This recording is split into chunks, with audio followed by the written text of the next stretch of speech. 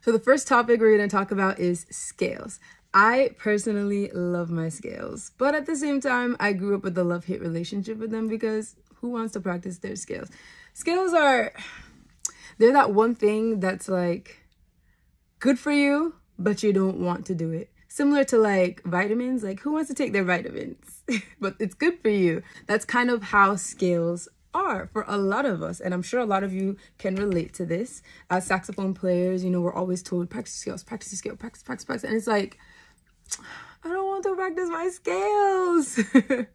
but it's great to practice your scales because when I tell you, when you have a strong relationship with your scales, would that be major or just natural minor scales, it will take you very, very far very far, especially when it comes to soloing. So let's get into it. I want to basically talk to you about the major scale and the power of the major scale. The major scale is super important. It's very important to be able to know every single major scale and not just being able to play it from do to do, but being able to do a full octave major scale on your instrument. The major scale is so powerful. I kid you not. When I improvise, most of the times, I don't know any crazy riffs as you guys can tell when you hear me play. I really don't know that many. I kind of just like fell off the jazz scene and I didn't really get into memorizing riffs and phrases that much. I just kind of go with my scales. And that's literally the basis of my improvisation. So I'm here to tell you that it works. It really does work. If you learn your major scales, I promise you it will take you very far. So major scales are also really important because major scales are minor scales. I know that a lot of you who are already musicians already know this, but there's some of you who might not know this information and it is good to know. Your major scales are your minor scales. So if you're watching this and you have a notebook, write that down. Major scales are minor scales. And the reason I say that is because when you take your major scale and you play from do to do, do, re, mi, fa, sol, la, ti, do, ti, la, sol, fa, mi, re, do. That's your major scale, right? That's one to eight. It's beautiful. But if you take the same scale and you start from the sixth note in your major scale, which is La ti do re mi fa sol la sol fa mi re do ti la. The sixth note, that is a minor scale, using the same major scale.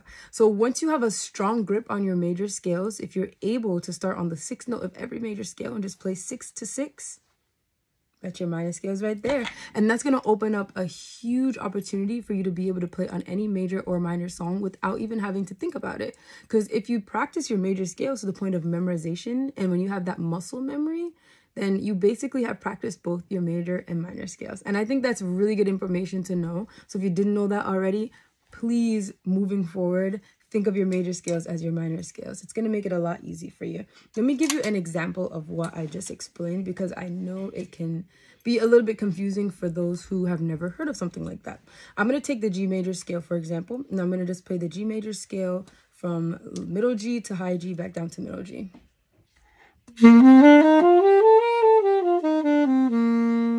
That's G major, right? If I were to start on the sixth note of the G major scale, which is, you know the answer. What's the answer?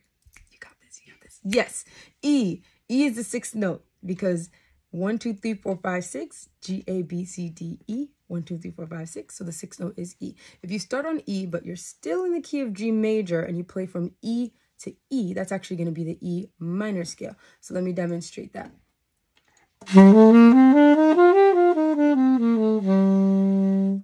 Relative minor. So basically E minor has the same exact key signature as G major, meaning in the key of G major, there's one F sharp, just like in the key of E minor or E natural minor, there's one F sharp. So when you're able to make that connection between the two scales, it makes it so much easier when you have a song that you have to play that's in, let's say the key of E minor, and you're like, what? E minor? How am I supposed to play that? How am I supposed to understand that?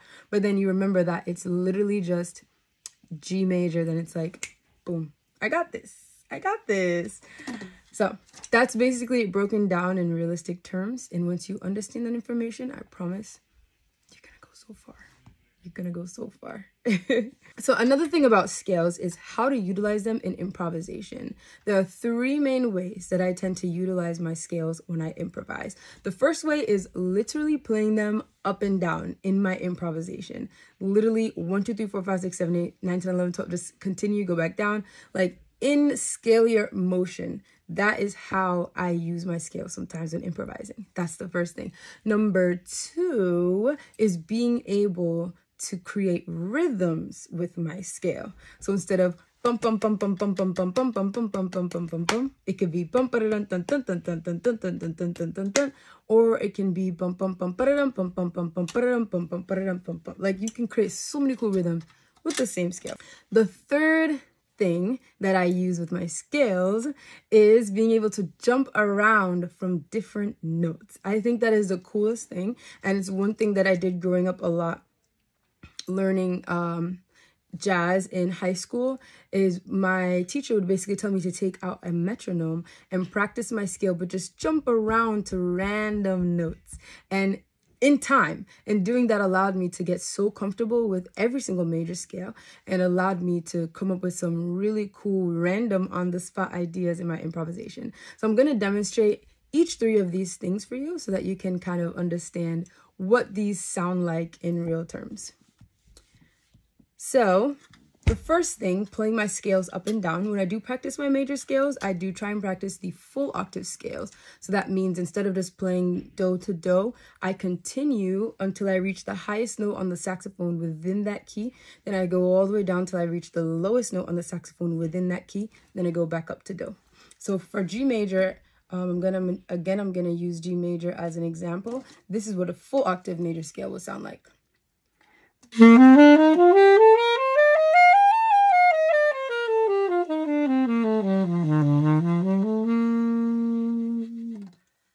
a G major full octave scale. So what I might do with my improvisation to be able to implement that is I would literally use the scale. That's it, guys. So I'm going to demonstrate using the G major scale, just going up and down through improvising on this one chord backing track that I have right here, just in the key of B flat major for concert, which is G major for the alto saxophone. So let me just demonstrate what this sounds like so you can kind of get what I'm talking about.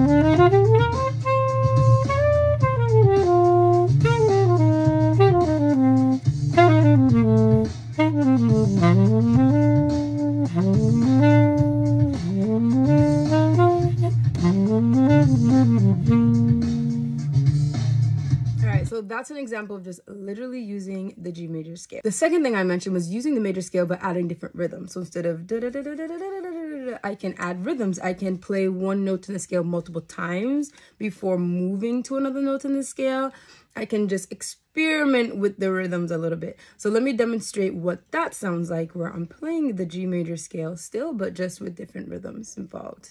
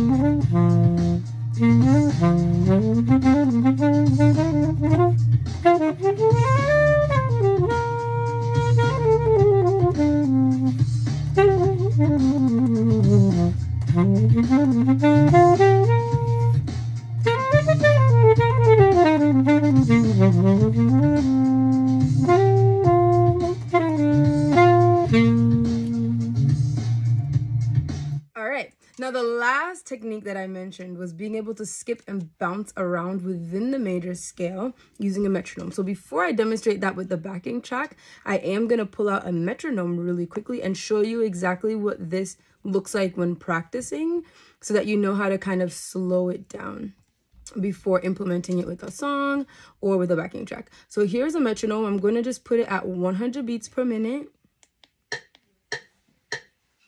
I'm going to take the G major scale and I'm literally going to just jump around with these notes randomly. I'm not thinking about it. I don't know what note I'm going to go to first. I'm just going to think in my head, okay, G major, let's do this. Random notes. I can go G, D, E, A, B, high G, F sharp, D, E, A, G. Just random notes in time with the metronomes. This is what that sounds like.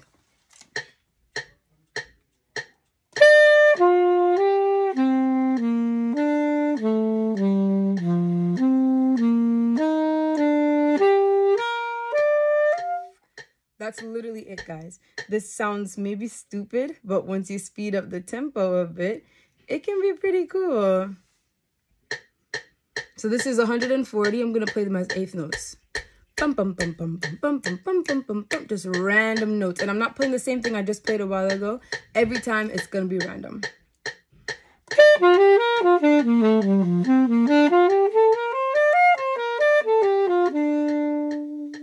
It's cool. It's weird, but it's cool. And it can sound cool in your improv because it'll allow you to create on the spot random lines and riffs that you can use in your solo. Here's an example of that.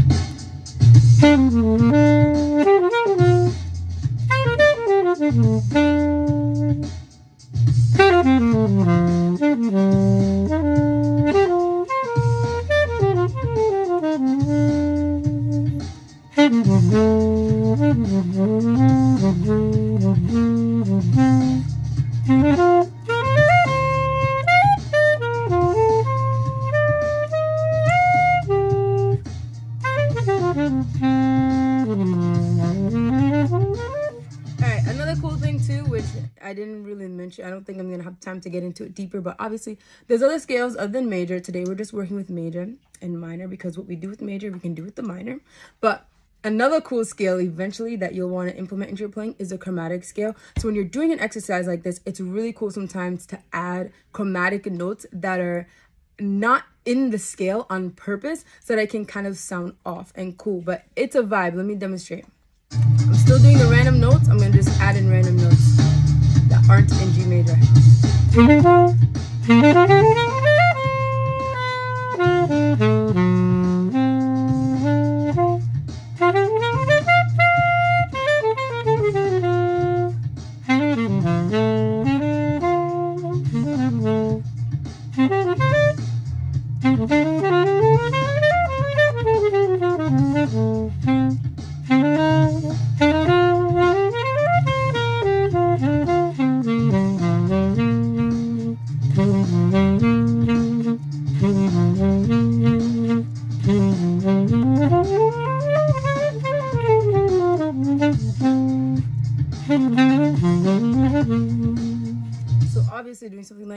Takes time to be able to do it without thinking about it. It does come down to muscle memory, which is why doing this kind of thing and implementing it in your practice routine is super important to do on a consistent basis.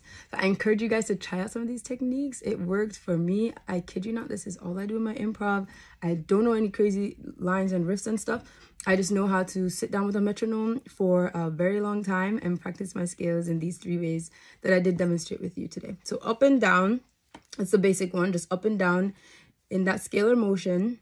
The second way is rhythmically changing up the rhythm of the scale. And then the third way is skipping to random notes. And then if you're feeling fancy and exciting, adding some of those crazy chromatic off notes that are not in the key of G to kind of make the listeners go, hmm, that was pretty cool. So that's the basic of scales, guys. If you want to learn more about the other tips and tricks, check out the next video. See you guys.